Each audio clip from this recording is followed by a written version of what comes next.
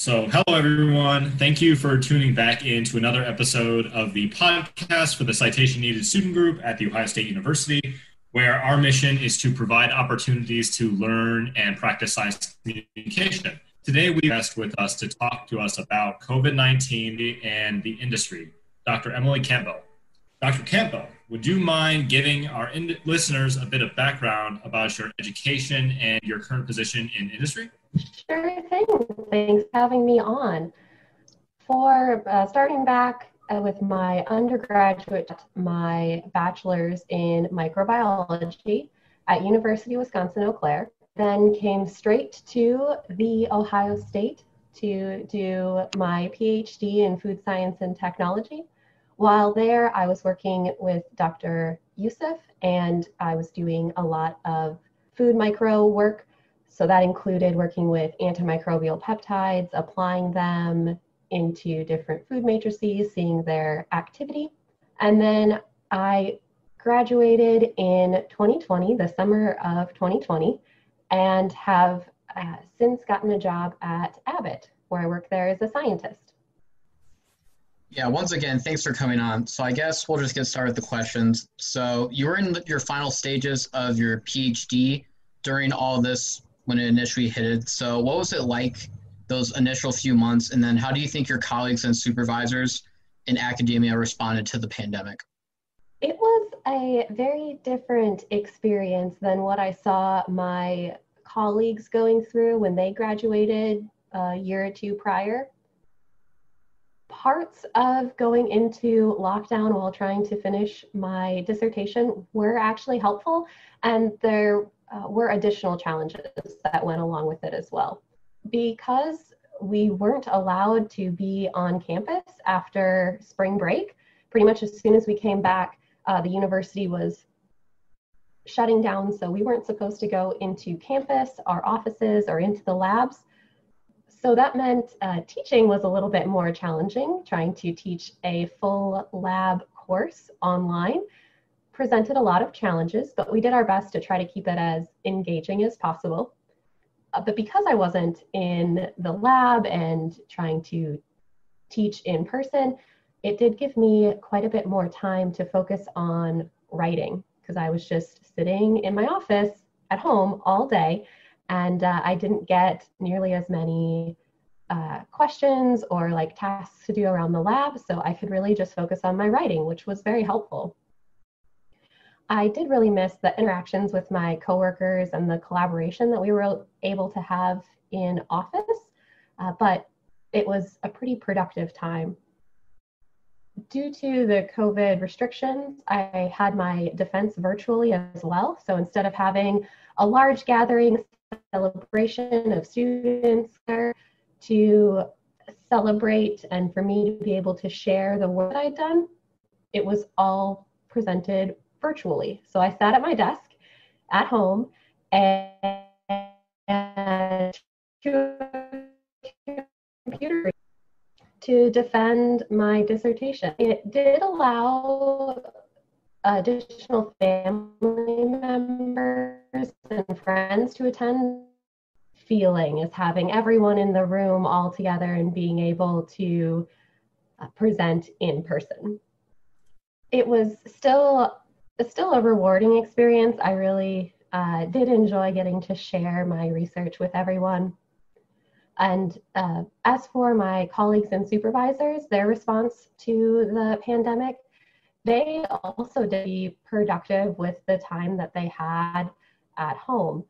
Uh, from talking with other students and like my advisor and other perfect writing articles uh, since uh, people couldn't be in doing actual experiments uh, there was a lot of uh, grant writing for different uh, covid funding to be able to do some uh, like emergency experiments related to covid which were kind of interesting to hear about as well uh, but everyone just did their best to try to be as productive as possible without being the in on campus and in the classroom.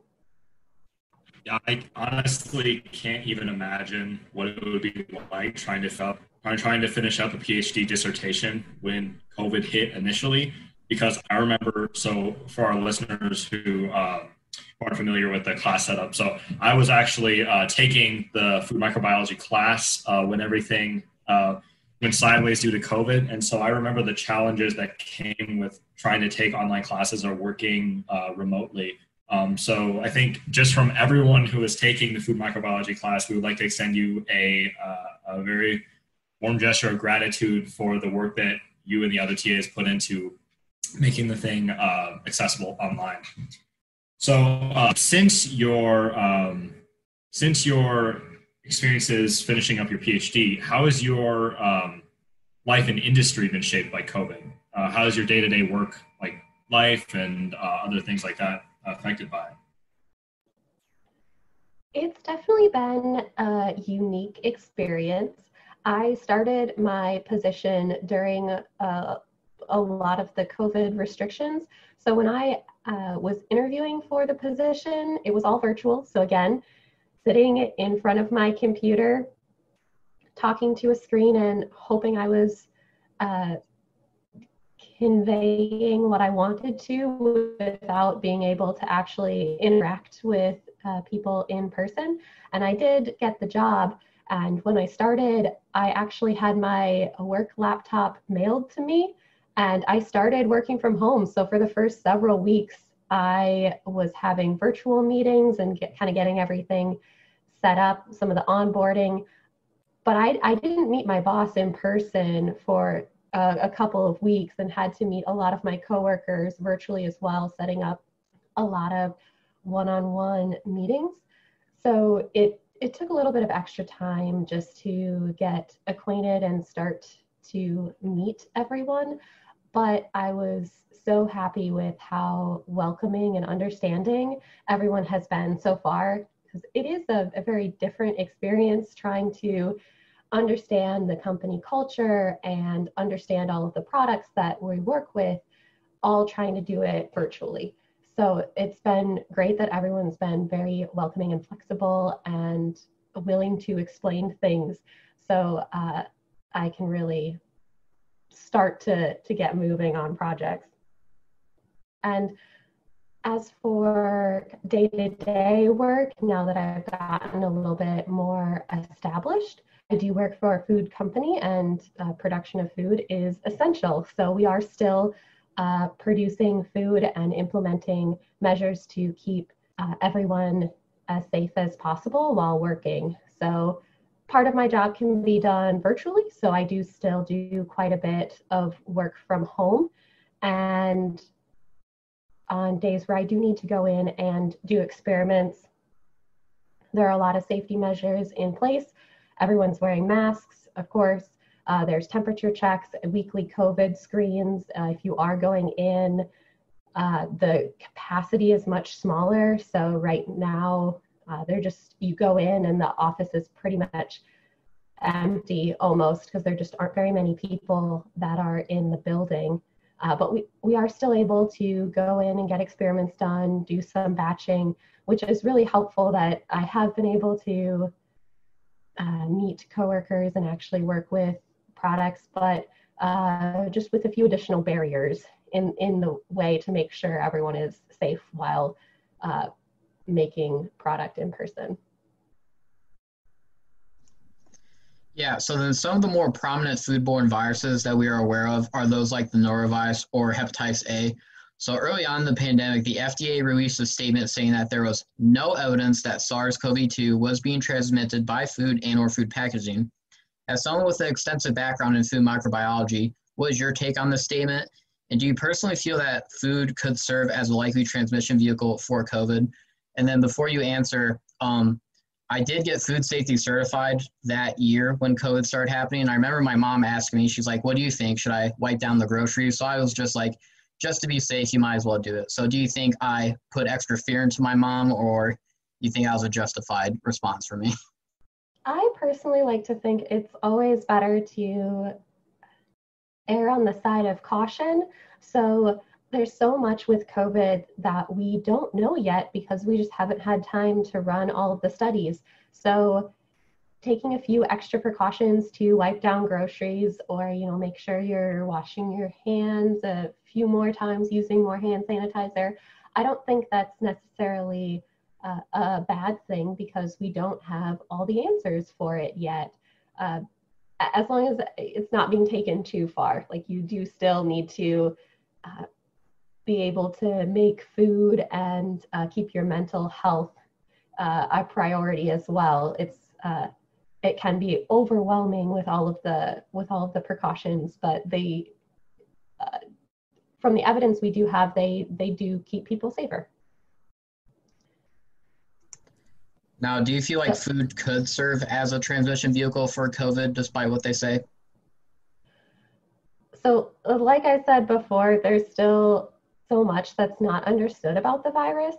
I know with fda uh, statements and claims saying that there's no evidence, they don't often go beyond that, saying like this is not um, a, a risk or something like that, because they they leave it open because there could be more evidence that comes later, especially for something that is this new and unknown.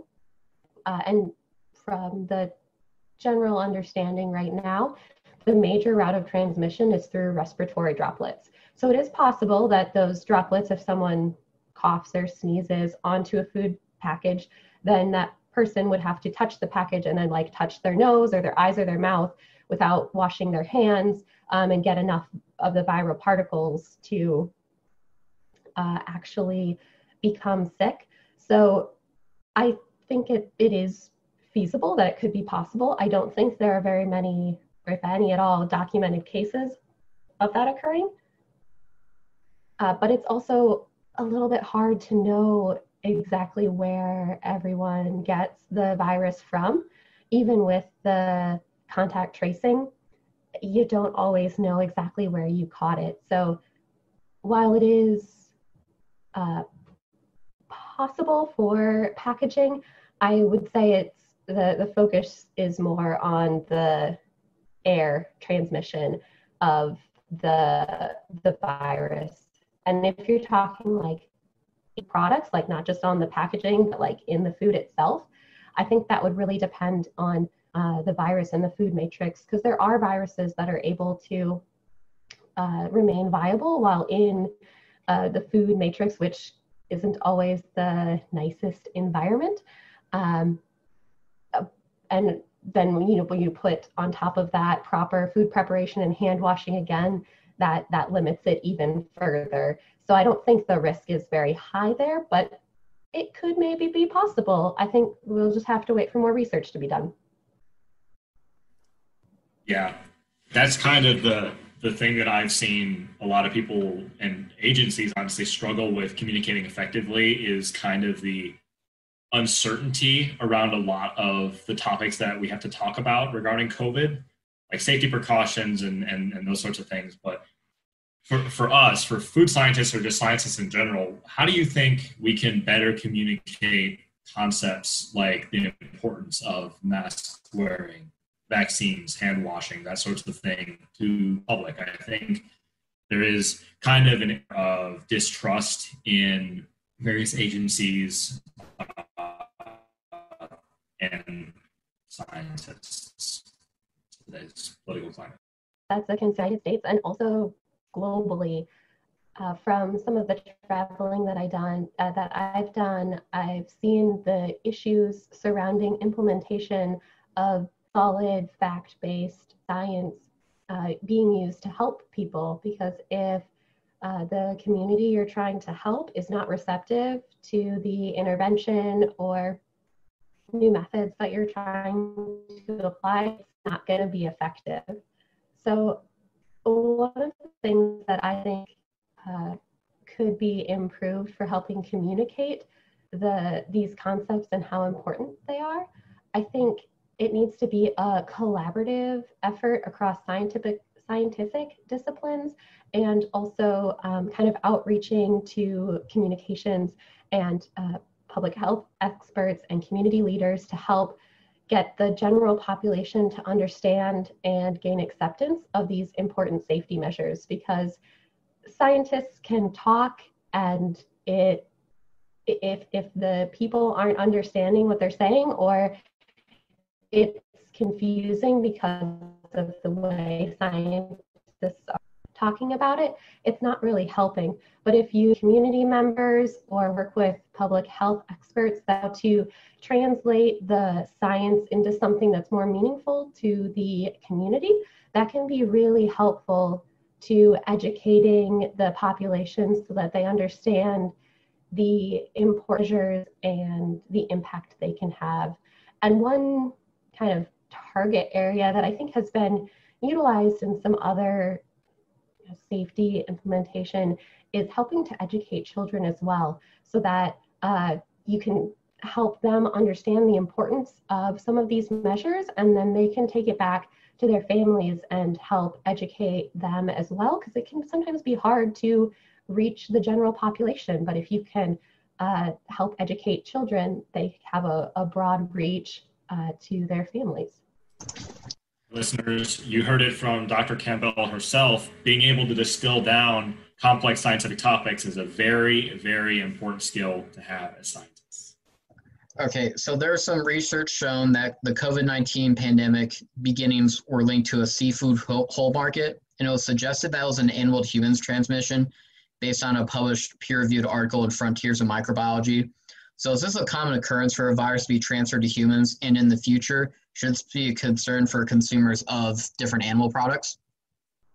So, going back to my micro undergrad days, I did actually take a virology course and did some research with viruses. So I do have a, a little bit to say here for kind of viruses in general. Uh, typically, they are very specific for uh, what they can infect. So, like a virus that can infect humans, it's typically not going to be able to infect your dog or your cat because uh, it just doesn't have the right receptors to infect cells of a different species entirely. And even the cells that they can uh, uh, infect within your own body can be uh, very different as well. And it's, it's actually pretty rare for viruses to hop from like a, an animal to a human or human to animal. It doesn't happen very often, but if it does jump from an animal to a human and then is spread human to human, that's where you have some of these disastrous consequences uh, because it's a new virus that the body doesn't have uh, immunity to. We haven't seen it before. We don't have vaccines for. So it can be really dangerous as we're seeing unfold right now. Uh, typically, this can uh, kind of some of these new uh, viruses and uh, oh, it can come from mutations that allow the virus to jump to a different species. Uh, and co-infection with multiple viruses in the same animal can also affect some of that if they're sharing some genetic information, they're kind of rearranging. That's where you can get some of these new, uh, very infectious uh, viruses that emerge.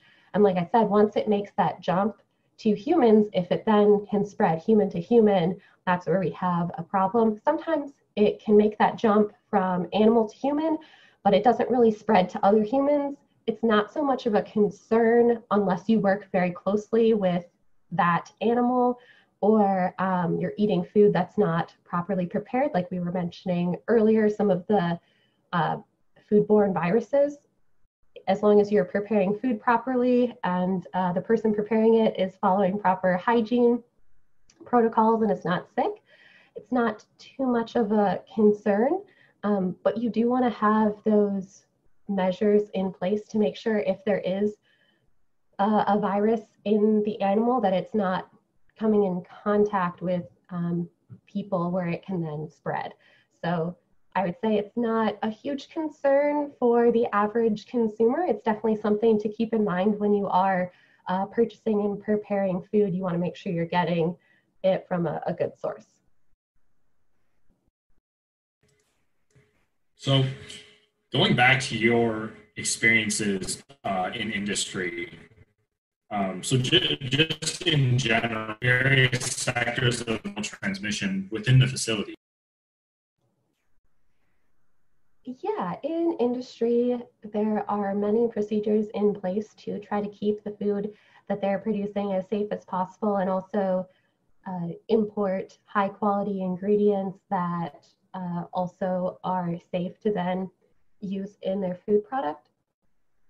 The level of care taken really depends on the products being produced. So if this is a ready to eat uh, food product that doesn't have much process, be really careful about uh, the, like say, produce that you're bringing in. You can do some cleaning, but the cleaner it is when it comes to you, the higher quality uh, down the line. And say for a vulnerable population like um, infant food or uh, for hospital uh, special dietary concerns, uh, you have to be really careful about the ingredients going in and the, the processes that the food product is undergoing.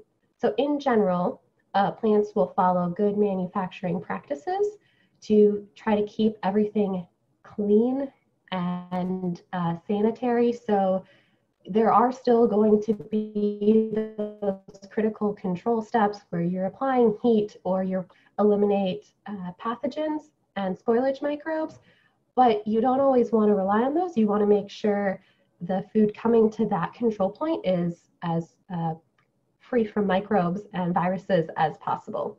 So this includes uh, making sure that workers are maintaining proper hygiene, wearing captive clothing, hair nets, and now uh, masks the uh, other workers safe. And I've also heard of being introduced, trying to space people out, uh, things like that, just to try to keep the workers safe from spreading uh, the virus to each other. And this also goes for cleaning and sanitizing equipment that like high food uh, touch con the food contact surfaces and also uh, close areas, making sure that bacteria and microbes are not getting established and then uh, getting on all of the food products where then uh, you have a persistent issue with like a biofilm uh, getting into your food product. So a lot of what the industry tries to do, at least from uh, what I've seen is a lot of preventative uh, measures to try to keep the risk as low as possible for the food that they're producing. And then, of course, uh, at the end, there's going to be some, uh, in some cases, finished product testing to make sure that everything's going according to plan. Uh, a lot of times, there will be uh, validation experiments run as well to make sure that the process that the food is undergoing is achieving the level of kill that is required for their pathogen uh, that's most resistant that they're concerned. Yeah, so then for our listeners that aren't aware of this, when you're um, in food safety courses or taking food microbiology courses, you're taught in order to kill bacteria in food samples, you have to cook the food to different temperatures. So, for example, for chickens, cook it to 165 or above for salmonella. So, as far as you are aware, is the coronavirus able to be killed in this temperature range or in another temperature range? So for viruses in general, it, the, their susceptibility to heat really depends on the virus structure and also the environment that it's in. So depending on the food matrix or if it's just in suspension, that can play a big role on how susceptible to heat it is. And I do believe that heat is used to disinfect uh, masks and other PPE so that it can be uh, reused safely uh, in like hospital settings because there is a, a shortage of some of these uh, equipment to, to, keep people safe.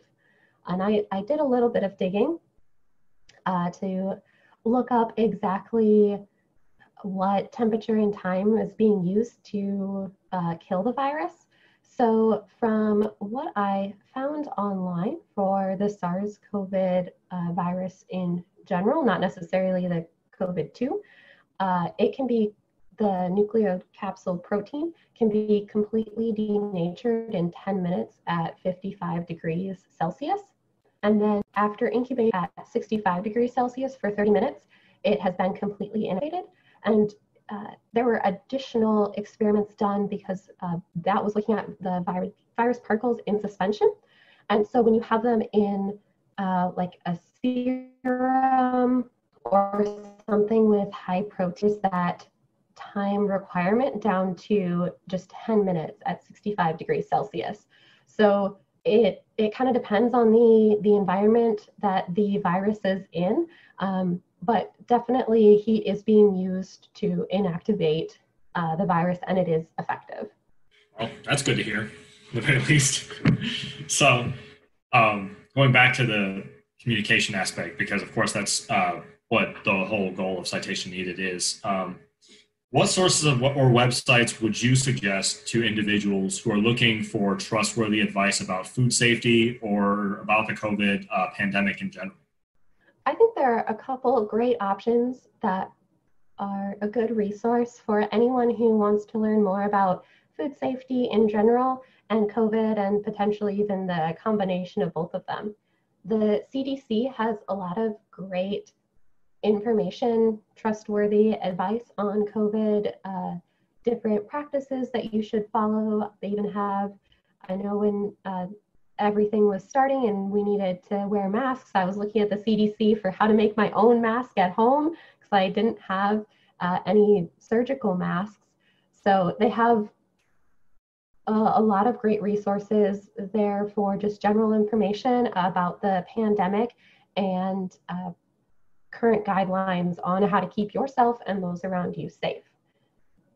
Then for information that's more specific to your area. If you want to understand uh, kind of what's happening on a local level for you, checking out your local government's public health websites can be a great way to find additional resources as well. For example, the City of Columbus uh, Public Health has a COVID portal. Questions if you want to talk to a person and get some live answers for the information on them up for testing sites near you so you can get some great information about where you need to go to get tested that's convenient for you. And of course, they have additional reports and resources if you want to do some more digging into uh, the specifics about the pandemic. And uh, since this is citation needed, just remember that the, the, the science takes time to figure out and then communicate it to uh, the general population as well. And the scientific understanding uh, can change over time as new information is being added. So make sure you're checking back on those websites to make sure you're following the most up to date procedures to keep everyone as safe as possible. Absolutely. And the changing nature of science is one of its greatest strengths, uh, in my view. Dr. Emily Campbell, thank you so much for taking time out of your busy day to come on our podcast and talk to us. Uh, Alec, do you have any other questions? No, I feel like you covered any questions I would have wanted to ask, and you're very thorough with everything. And I liked how you made the point that things are always changing. It depends. There's multiple factors that go into this, and that people just need to be patient with science and just listen to the experts thank you so much for having me on. It was uh, great to talk with you, and I definitely learned along the way when I was looking up some uh, answers to make sure I was information possible. All right, everyone. So, yeah, thanks for listening. So, depending on what platform you're on, like, subscribe, leave a nice review. And then, once again, if there's any audio issues, we apologize. We're just starting out with the podcast as we go on, that will be fixed.